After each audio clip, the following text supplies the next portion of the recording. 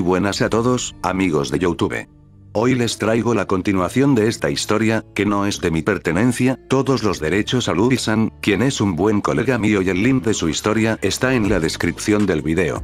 Si quieres apoyarme de una manera más personal, puedes unirte al canal, apretando al primer enlace que aparece en la descripción o apretar al botón de unirse que está al lado del botón de suscribirse. Uno de los beneficios sería estar en directos exclusivos privados solo para miembros, estar dentro de un grupo privado de WhatsApp y Discord. También puedes recibir consejos míos sobre cómo empezar un canal en YouTube hablando contigo en privado, recibir saludos al final de todos mis vídeos, votar por las futuras historias del canal, y más. Créanme que me motivan bastante a seguir en esta plataforma. También, el enlace de mi Twitch está en la descripción al igual que el de mi Wattpad, en donde escribo historias de cualquier anime. Sin más, continuemos con la historia. Se encontraba corriendo a toda velocidad. Izuku. Ah. Algo lo perseguía. Vuelve en este momento. Y tenía que escapar de ellas. Izuku. Acción turbo. El peliverde intentó acelerar más el go-kart, pero simplemente ya no le daba más velocidad y veía como las chicas se acercaban a él a toda velocidad. Izuku. Ya les dije que no tuve la culpa. Dijo este comenzando a llorar, Ibara. ¿Cómo se te ocurrió hacer eso? Izuku. Solo quería una papaya. Yui. ¿Y para qué una papaya? Dijo esta con una mirada fría mientras a una gran velocidad se acercaban al peliverde, Izuku. Para comer. Dijo este mientras se bajaba del go-kart y comenzaba a correr, el peliverde lo intentó, pero su cardio no era el mejor, podía pelear contra enemigos poderosos pero simplemente no podía escapar de sus chicas. Izuku. Oigan, 5 minutos de... Este no pudo continuar ya que fue tumbado al suelo por todas las chicas, estas tomándolo de diferentes partes del cuerpo, comenzaron a hacerle lo que parecía una llave evitando que este pudiera moverse. Izuku. Chale. Kendo, ni se te ocurra usar tu Kirk para escapar o te juramos que te va peor. El peliverde simplemente se quedó quieto, a punto de decir escape, pero hasta él sabía que ni reiniciando el universo se salvaría de la golpiza que sus novias. Izuku. Por favor, les juro que haré lo que sea. Reiko. ¡No! Derrumbaste la estatua del director, y le echaste la culpa a Monoma, no lo estamos defendiendo, pero ¿cómo se te ocurre hacer que pague más de un millón de yenes? Izuku. Es que si me dejan explicarles ahí. Este grito al sentir como las chicas comenzaba a estirar más su cuerpo causándole más dolor. Kinoko. Sí, es obvio que queremos una explicación. Izuku. Pues bueno lo que pasó fue. Flashback. Yui. Ni se te ocurra hacer un flashback para escapar. Resúmelo, dijo esta estirando más al peliverde, Izuku. Guay, guay, guay, ahí está bien.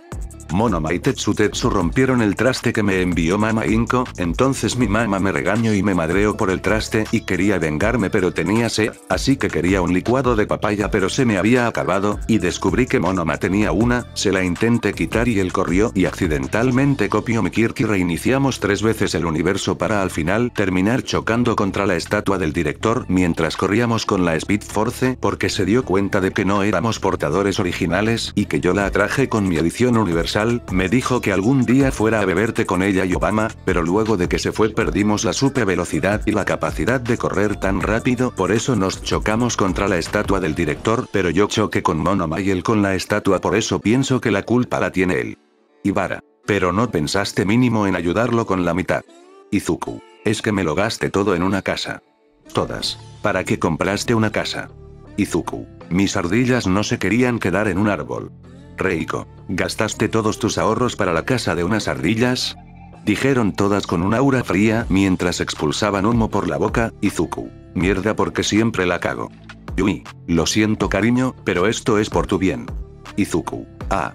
Ibara. De alguna manera tenemos que corregirte, dijo esta poniéndose en guardia al igual que todas, Izuku. Ah. Setsuna. Perdón cariño, pero es para que seas una mejor persona en el futuro. Izuku. Ah. Se levanta en un lugar blanco. Izuku. ¿E qué pedo? Shinso. Estás muerto. De. Izuku. Silencio, ¿qué? Shinso. Sí weón.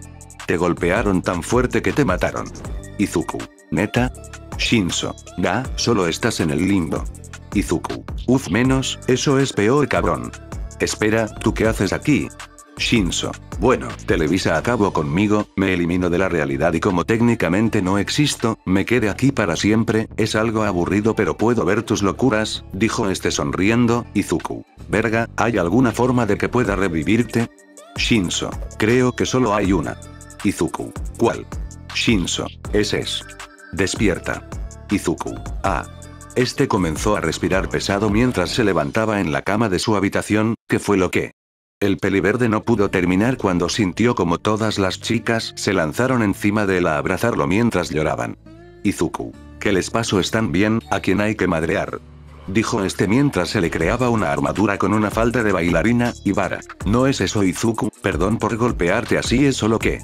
Reiko. No sé qué nos pasó, dijo esta abrazando con más fuerza al peliverde mientras lloraba al igual que todas, Izuku. Ay, no se sientan mal, vengan acá, dijo esta extendiendo sus brazos para abrazar a todas las chicas, aunque ya se los dije lo volveré a repetir, no importa qué hagan, siempre estaré para ustedes, y ya conocen mi dicho, si un día gano 10 pesos. Yui. Yenes. Izuku. Pues la moneda que sea, nueve serán para ustedes, y el sobrante lo gastará para ustedes, y sé que si hicieron eso fue para que entendiera la lección que sea que aunque no aprendí, agradezco que siempre se preocupen por mí, por eso las amo. El rostro de las chicas comenzó a sonrojarse masivamente. Todas. Izuku. Gritaron estas con felicidad mientras ella apretaban al peliverde, y Vara. Te amamos, por siempre. Yui. Gracias por siempre estar para nosotras. Kinoko. Gracias por apoyarnos en todo. Reiko. Eres el mejor novio del mundo, Kendo. Eso nadie puede cambiarlo. Setsuna. Ya dijimos que te amamos. Todas las chicas abrazaban al peliverde con fuerza mientras este solo reía tiernamente. ¿Quién lo diría cierto? Si sigues un sueño consigues felicidad. Izuku. Y yo la conseguí de la mejor manera, con ustedes, y saben, yo quiero. Todas las chicas vieron confundidas al peliverde, esperando lo que iba a decir. Izuku. Creo que quiero hacer eso con ustedes, ve bueno Shiki.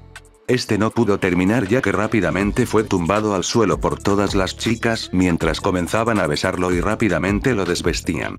Kinoko. Estuvimos mucho tiempo esperando esto dijo esta con carcajadas de satisfacción mientras comenzaba a besar el cuello del peliverde, Izuku. Guay, dijo este rojo mientras sentía como sus pantalones eran quitados casi desgarrados, y así termina esta historia, con un chico que pasar de ser nadie a ser un exitoso youtuber mexicano residente de Japón en camino a su sueño de ser un héroe, el chico que pasó de tener solo a su madre, a tener a unas chicas maravillosas que siempre estarán a su lado, sin duda alguna, la mejor vida que pudo haber pedido. En otro lugar. Entonces, ¿lo borro y ya? Sí señor, se deshizo de él, simplemente lo borro de la existencia junto a otros de sus doppelgangers. Eso suena muy mal para mis planes. Entonces, ¿qué quiere que hagamos señor? Por el momento prepararé mis habilidades, no creo poder contra alguien con un poder tan fuerte en mi estado actual, y aunque debería darle las gracias por eliminar a la competencia, no puedo dejarlo vivo. Entendido señor Televisión Azteca, con su permiso me retiro. Televisión Azteca. Sí, muchas gracias por la información. El misterioso sirviente salió, mientras varias pantallas comenzaban a mostrarse alrededor del cuarto, este solo giró en su silla para ver una gran pantalla donde mostraba cómo el peliverde estaba siendo desvestido por las chicas. Televisión Azteca. Quien diría que un simple mocoso pudo contra él, pero no podrás contra mi Izuku, yo acabaré contigo, dijo este apagando la pantalla mientras todo el cuarto se volvía oscuro. Fin de la historia, espero que les haya gustado, y si es así, denle un buen pulgar arriba al video que me apoyan bastante haciendo eso. Aprovecho para informar que me creé un nuevo grupo para los miembros del canal llamado Midorilla Creu, en el que les apoyaré en su canal de YouTube y si quieren más información, aprieten al botón de unirse, que está al lado del botón de suscribirse. Los canales de los miembros de la Midorilla Creu están en la descripción y en el comentario fijado. El enlace o link de mi Twitch está en la descripción, en donde hago directos casi todos los días. También, el link de mi Wattpad en el que escribo historias de cualquier anime está en la descripción. Además, pueden suscribirse al canal que hago directos casi todos los días para que les notifique de mis directos. Mi ID de Epic Games es Ronin Fanfics por si quieren jugar conmigo algún juego, y mi ID está tanto en la descripción del video como en el comentario fijado. Sin nada más que añadir, me despido no sin antes dejar los saludos a los miembros del canal de rango medio en adelante.